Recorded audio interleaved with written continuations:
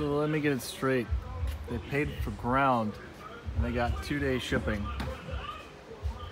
Paid for ground, got two day shipping. Talking about GrimmSpeed gaskets. Talking about boost control solenoids. Yeah, Perrin items, fuel pumps, flex fuel kits. Man, that's a lot of stuff. Paid for ground, got two day, only an Import Image.